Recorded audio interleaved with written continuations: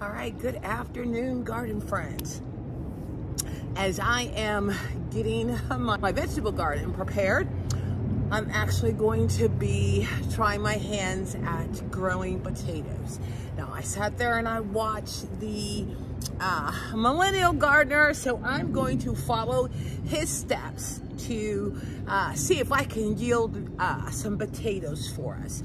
These are 15 gallon bags that I have filled up mostly with the soil and um, compost, which is the top layer.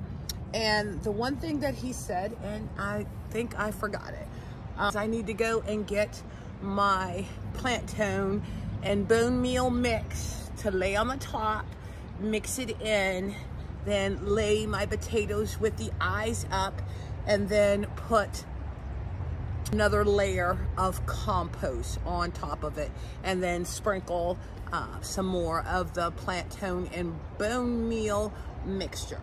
So let me go get my uh, fertilizer mixture. I thought I grabbed it. All right, so I'm gonna go ahead and put the plant tone and bone meal fertilizer on here. Now I know he had like four bags. Only have two. Nice handful on there. Mix that in.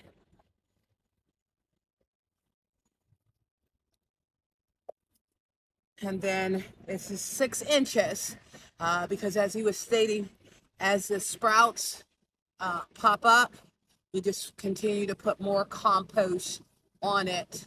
But then he also said, don't mulch it because as you can see, this is a full sun area. Um, so these guys will get full sun pretty much most of the day. So I'm hoping that this is going to be a good area for them.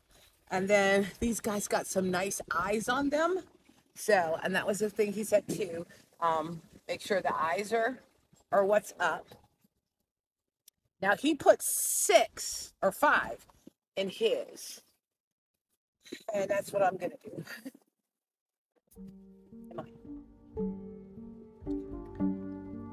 so I'm like really excited about doing this and hopefully yielding um, some potatoes for us. Because like I said, uh, my goal is whatever is growing in this garden is going straight to the dinner table.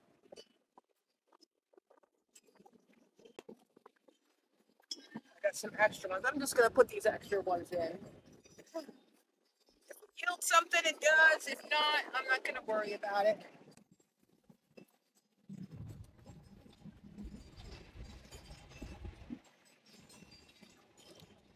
Okay. I'll end up putting uh, some compost over top of it.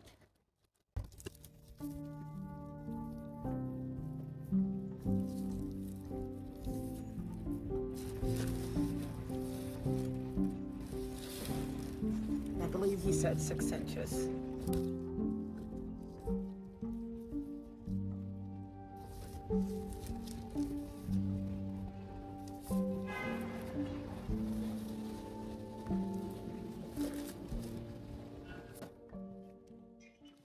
Then I'm not going to mulch this. I can't remember if I said that. Uh, as he said, you know, just in case it rains, you don't want the potatoes sitting in uh, water because the mulch will help retain the water. Really windy today, but it's gorgeous supposed to be gorgeous this weekend, so I'm going to be a busy little bee.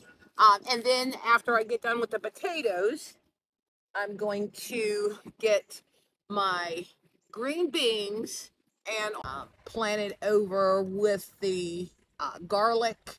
And I have some spearmint and um, rosemary over in that bed.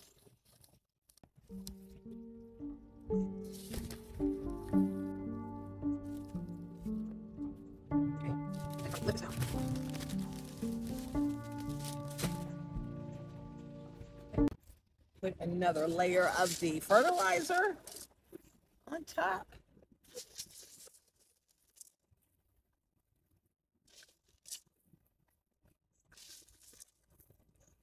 And because this is slow release,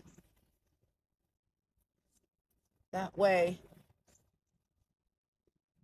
it slowly feeds the potatoes. I'll put another layer on top of this. And then this is the thing too. Um, I'm going to go ahead get these guys watered. Um, and I will be done with uh, planting my potatoes out. And like I said, I'm going to wait until uh, greenery come up. Then you put more of the compost over top of it. Um, and then he did state um, that you could use like a water soluble fertilizer. And I'm like a big user of the fish emulsion fertilizer um, that I'm using for all of my vegetables and also my um, potatoes.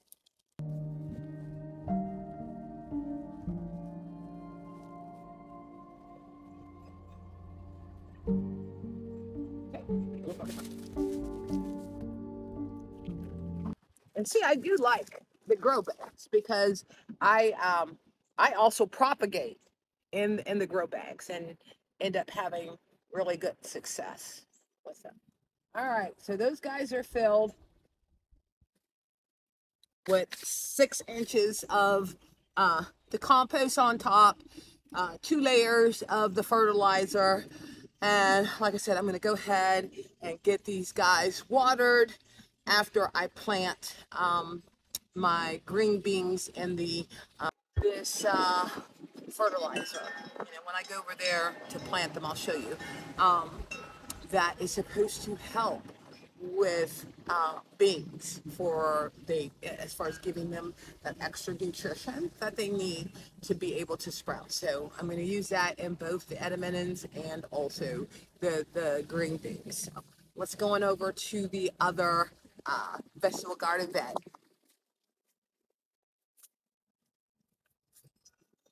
Okay, so I'm going to go ahead and plant my uh, green beans, and these are Blue Lake stringless pole beans. Um, uh, I'm I got two packs. I think this whole section I'm gonna plant with the beans because Kevin will come out here and I'll have green beans planned for dinner and he will eat them right out of the garden. So I'm going to do two sections of them. Uh, the uh, I am going to have to find another location. I might end up putting it, putting these up where my herb garden is in a bigger pot uh, because they don't like um, direct sun. And like I said, this is a direct sun area pretty much all day. So, um, the one thing they say about the green beans, um, they will be about five and a half inches long and they have a mild flavor and make excellent snap beans. And it says plant, uh, sow seeds when soil is warm and all danger of frost has passed. Plant two seeds every four inches. Uh, you can soak seeds overnight before planting and it'll help speed up the germination. Uh, I didn't do that. And then thin to one plant every four inches when the plants have four leaves on it. So, and then the more you pick, the more it will end up producing for you. So I'm going to go ahead and get these guys planted. But like I said, the edamendins, I'm going to uh, probably put them up where my herb garden is. So, and this here is my garlic that is doing really well, but they say you know it's ready when the leaves start to curl. So they're not ready yet, but I'm just going to use one of the sticks to measure and for the holes for the green beans. And it says plant two seeds every four inches. And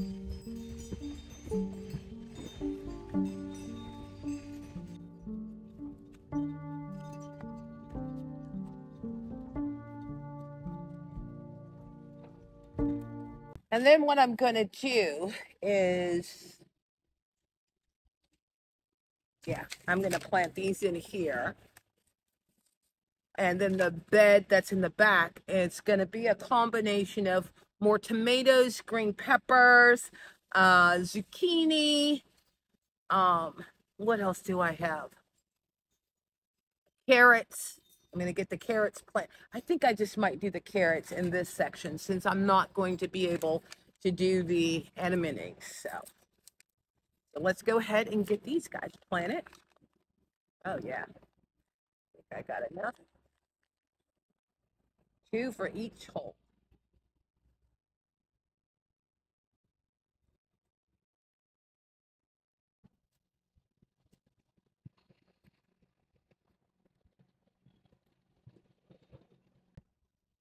Boy, this is going to be so nice being able to come out and harvest. So my fingers are crossed that everything will end up uh, germinating for me.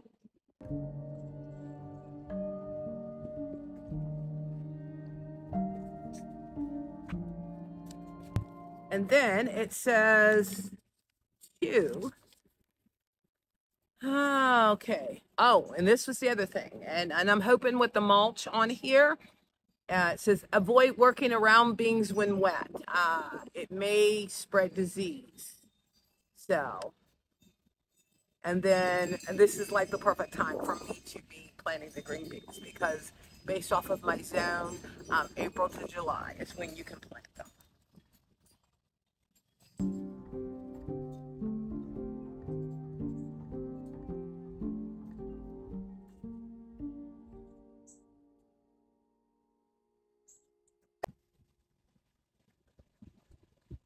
Oh, maybe that's just a little too close. Hold on.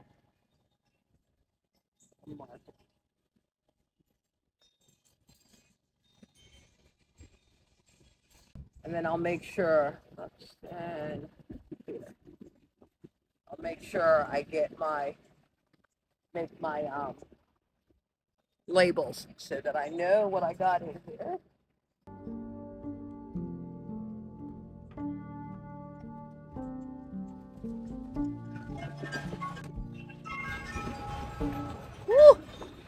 Tell you, that wind is like really kicking up. Okay, those guys are done. Like I said, I'll get them marked. Let me go ahead and get my carrots and get those guys planted right here.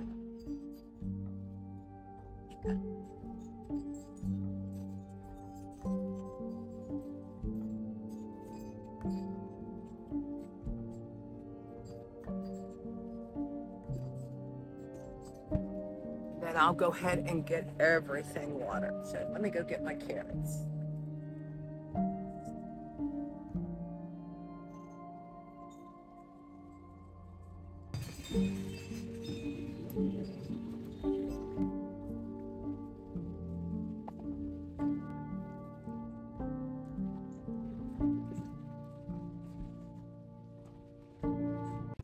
Okay, so these are just your regular or basic carrots. Um, they say they mature in 40 to 50 days. Uh, plant in well fertilized, well drained soil, uh, and to water when the um, weather is dry.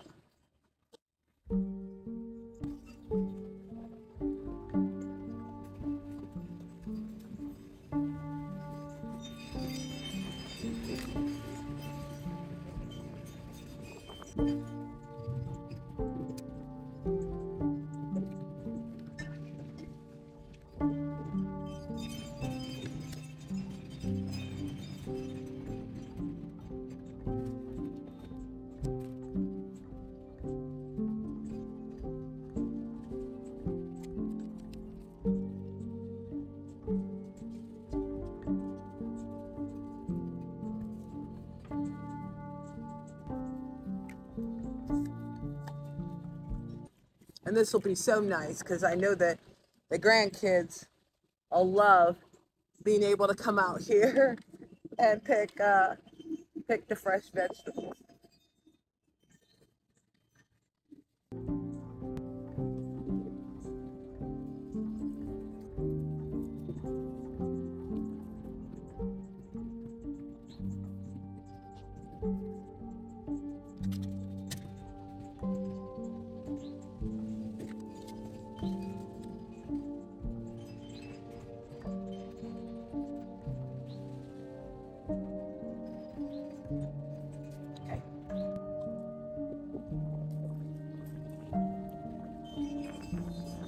So the carrots are done.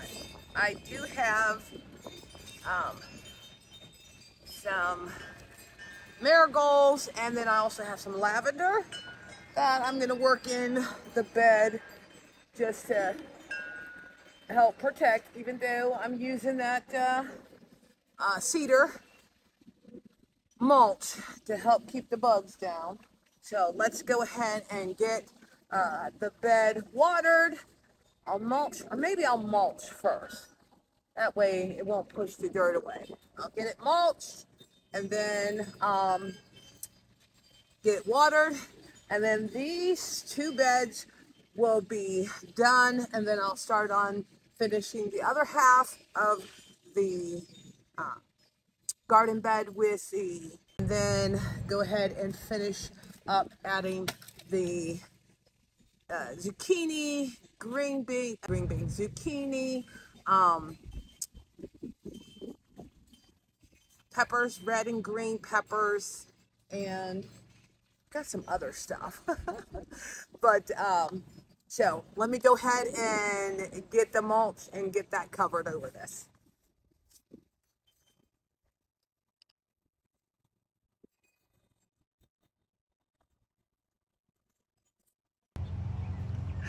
All right, garden friends, I don't know how this happened, but um, when I was editing my video that I did a week ago, I did not capture me mulching the bed. But wait a minute, you got to look at this. This is a week ago, and my green beans are already up. The carrots getting filled out too. So uh, this is the second garden bed that I have completed on my new vegetable garden journey.